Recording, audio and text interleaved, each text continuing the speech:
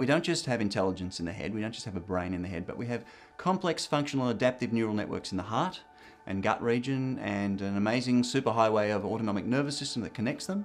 And all of these networks have, these neural networks are technically brains. The neuroscientists in these areas are saying we have a brain, a small brain in the heart, a brain in the gut. And that from our research, what we've found is that when leaders, when people are truly leading from an authentic, wise, aligned place, They've got their head, heart, and gut all aligned and in the game.